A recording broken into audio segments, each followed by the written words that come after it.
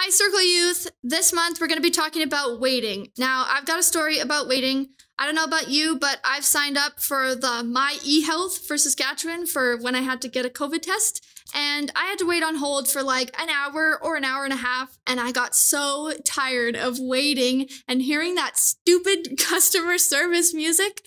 It got to the point that when my mom had to sign up for it online, the music was playing and I could sing the music. The wait on hold music. It's insane. I waiting is just so hard sometimes.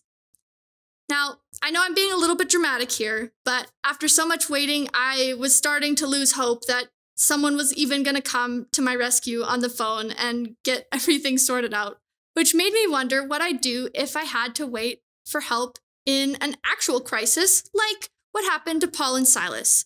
These guys were thrown in prison for preaching about Jesus, they had no idea how long they'd been there or if they would escape with their lives. They didn't know if they were going to live.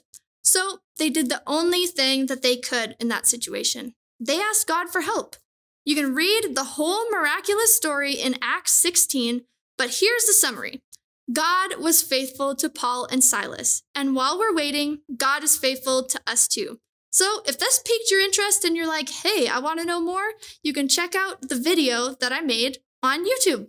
Check it out if you like, and thanks for being here.